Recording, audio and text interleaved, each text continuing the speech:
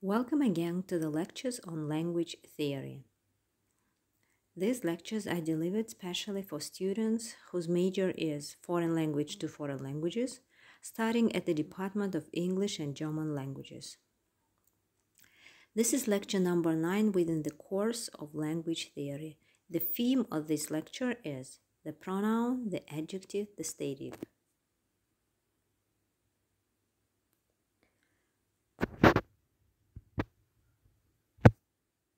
The outline of the lecture includes the following points. First of all, we'll, we'll speak about the pronoun. Further on, we'll discuss the characteristic features of the adjectives as a part of speech. Then we'll consider in brief substantivization of adjectives, and then we'll talk about the statives. The pronoun is a part of speech which points out objects and their qualities without naming them. Therefore, the pronoun possesses a highly generalized meaning that seldom materializes outside of the context. The semantic classification of pronouns includes such subclasses as personal, possessive, demonstrative, interrogative, reciprocal, relative, indefinite, negative, conjunctive, defining, and reflexive pronouns. The deictic or indicatory function of the pronoun is inherent in many subclasses except maybe interrogative, indefinite, and negative. The anaphoric function or the function of connecting with a preceding sentence or clause is characteristic of relative and conjunctive pronouns, though it may be occasionally performed by the other subclasses. Syntactic peculiarities of pronouns are accounted for by the fact that the pronoun is very close in its syntactic functions to those of the noun and the adjective. Hence, the main functions it performs are the ones of the subject, the predicate, the object, and the attribute. The pronoun seems to have the grammatical categories of person and gender, and personal and possessive pronouns, for example, I, the first person, you, the second person, he, the third person, he, she, this is uh, his, her. These examples show the category of gender, masculine and feminine. The category of case in the personal pronouns and the relative and interrogative who, the nominative and objective cases, for example, who or whom. Indefinite and reciprocal and negative, the common and genitive cases, for example, nobody, nobodies, someone, someone's. And the category of number, with the demonstrative pronouns and the defining pronoun other this singular, these plural, that singular, those plural, or other singular, others plural.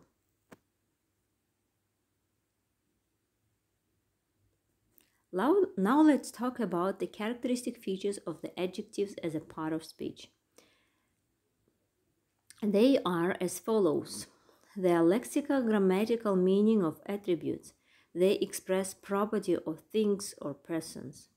From the morphological viewpoint, they have the category of degrees of comparison. From the point of view of their combinability, they combine with nouns, as it has already been stated above. They express the properties of things. It seems to be important to differentiate the combinability of a word with other words and reference of a word of a part of speech to another part of speech. We put this because adjectives modify nouns, but they can combine with adverbs, link verbs, and the word one. For example, a white horse, the horse is white, a white one, the sound rose red, the sound rose extremely red. Another characteristic feature of the adjective is the stem building affixes, which are full, less, ish, as, if, er, on, pre, in. For instance, useless, childish, courageous, impulsive, unconscious, prehistoric.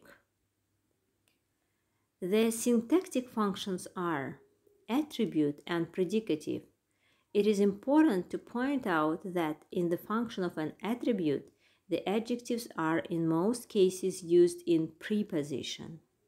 In postposition, they are very seldom.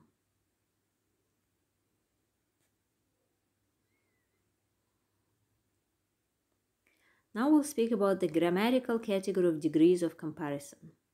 The category of comparison of adjectives shows the absolute or relative quality of a substance. Not all the adjectives of the English language have the degrees of comparison.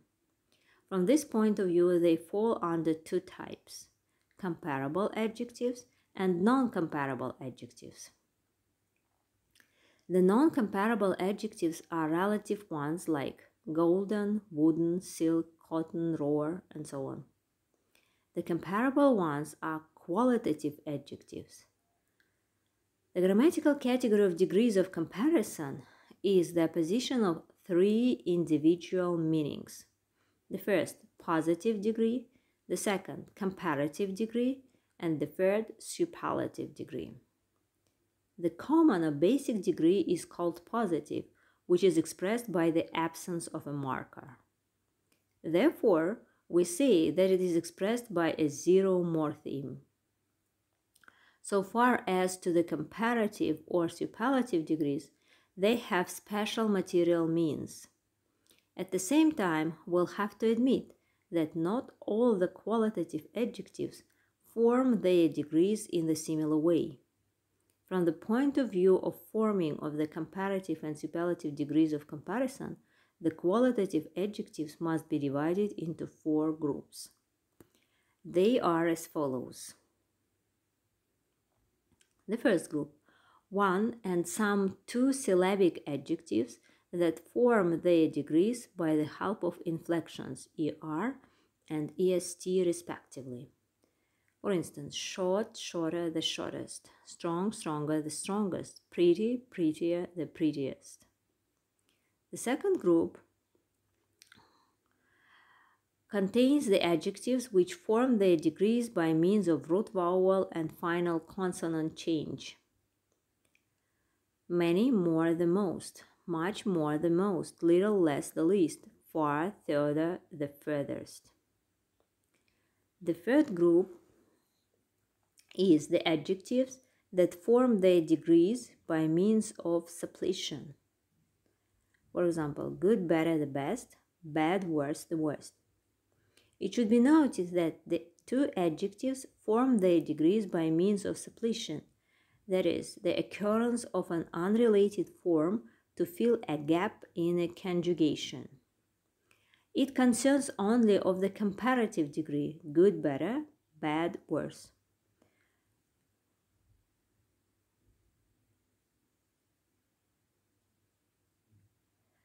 The superlative degrees of these adjectives are formed by a root vowel and final consonant change.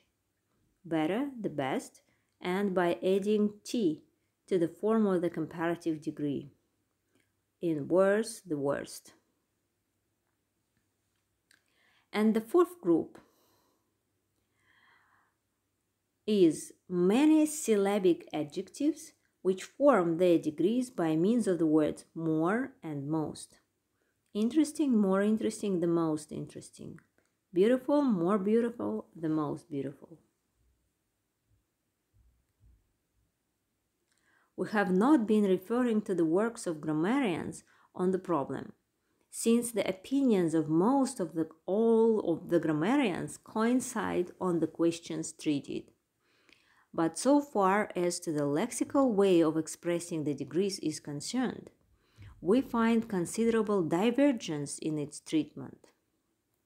Some authors treat more beautiful the most beautiful not as a lexical way of formation of the degrees of comparison, but as analytical forms. Their arguments are as follows more and er identical as to their meaning of higher degree. Their distribution is complementary. Together, they cover all the adjectives having the degree of comparison. Within the system of the English grammar, they do not find a category which can be formed at the same time by synthetic and analytical means. And if it is a grammatical category, it cannot be formed by several means. Therefore, they consider it to be a free syntactic unit, which consists of an adverb and a noun. Different treatment is found with regard to the definite and indefinite articles before most. The most interesting book and a most interesting book. Khaimovich and Rogovskaya say that one must not forget that more and most are not only word morphemes of comparison. They can also be notional words. Moreover, they are polysemantic and polyfunctional words. One of the meanings of most is very, exceedingly. It is in this meaning that the word most is used in the expression a most interesting book. As has been stated, we do not think that there are two homonymous words, most functional word and most notional word. There is only one word, notional adverb, which can serve to express the superlative degree by lexical means, and since it's a free combination of three notional words, any article can be used according to the meaning that is going to be expressed. The difference in the meaning of the examples above is due to the difference in the means of the definite and indefinite articles.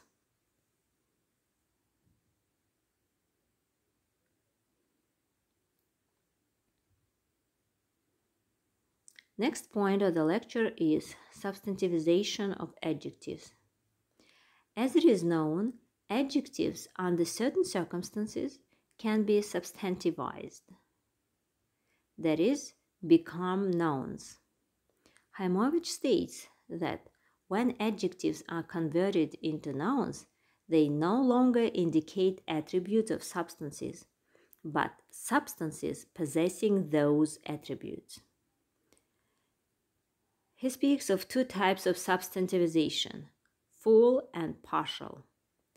By full substantivization, he means when an adjective gets all the morphological features of nouns like native, a native, the native, natives.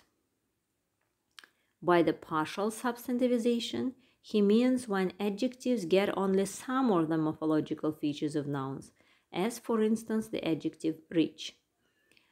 Have, having substantivized can be used only with the definite article, the rich. Ilyish is almost of the same opinion. He says, We shall confine ourselves to the statement that these words are partly substantivized and occupy an intermediate position.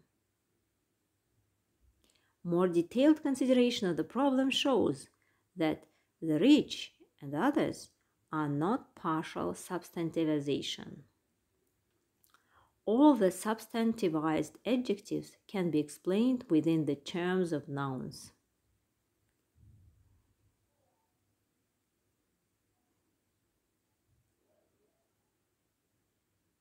And now we'll speak about the statives. Among the words signifying properties of a nounal referent, there is a lexemic set which claims to be recognized as a separate part of speech that is, as a class of words different from the adjectives in its class forming features. These are words built up by the prefix a and denoting different states, mostly of temporary duration. Here belong lexemes like afraid, agog, adrift, ablaze.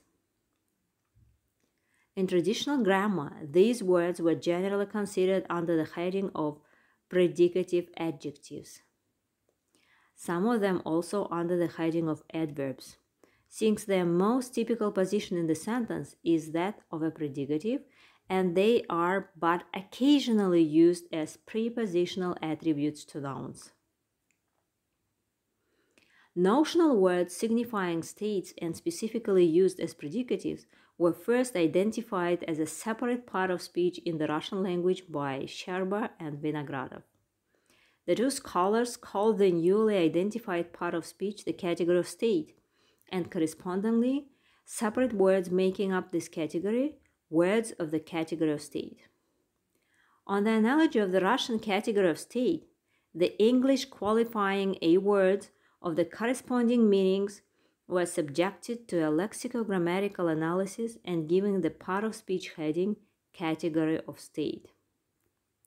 This analysis first, was first conducted by Ilyish and later continued by other linguists. The term words of the category of state being rather cumbersome from the technical point of view was later changed into stative words or statives. The part of speech interpretation of the statives is not shared by all linguists working in the domain of English and has found both it, its proponents and opponents. Probably the most consistent and explicit exposition of the part of speech interpretation of statives has been given by Khaimovich and Rogovskaya. First, the statives called by the quoted offers, authors adlinks by virtue of their connection with link verbs and on the analogy of the term adverbs, are allegedly opposed to adjectives on a purely semantic basis, since adjectives denote qualities and statives adlinks denote states. Second, as different from adjectives, Statives adlinks are characterized by the specific prefix a.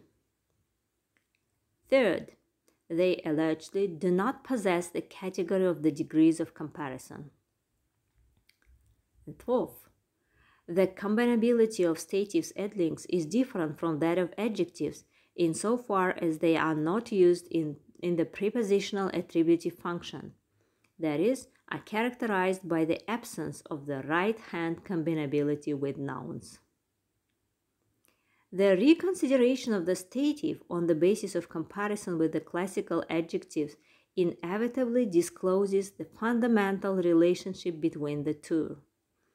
Identity on the part of speech level, though naturally providing for the distinct differentiation on the subclass level.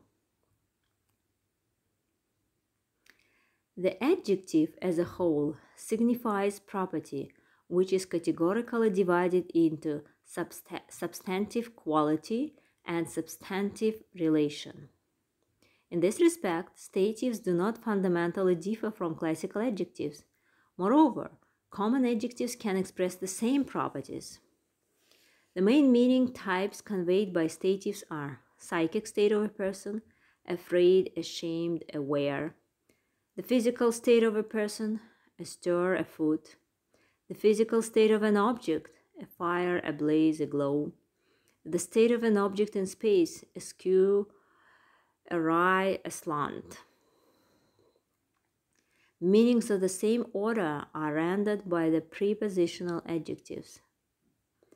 For example, the burning house, the house of fire.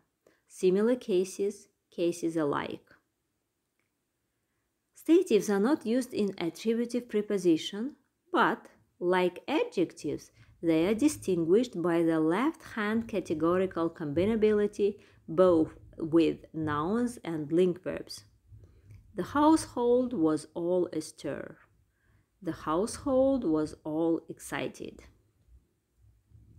Basic functions of the stative are not the predicative and the attribute are the predicative and the attribute. The similarity of functions leads to the possibility of the use of a stative and a common adjective in a homogeneous group. For instance, launches and barges moored to the dock were ablaze and loud with wild sound. And the last argument statives do not take the synthetical form of the degrees of comparison but they are capable of expressing comparison analytically. For example, of us, of us all, Jack was the one most aware of the delicate situation in which we found ourselves. That's all in brief concerning the contents of this lecture. And as a rule, you are offered a set of comprehension questions to check your understanding uh, of the lecture.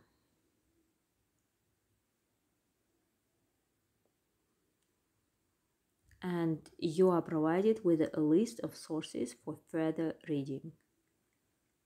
Thank you for attention.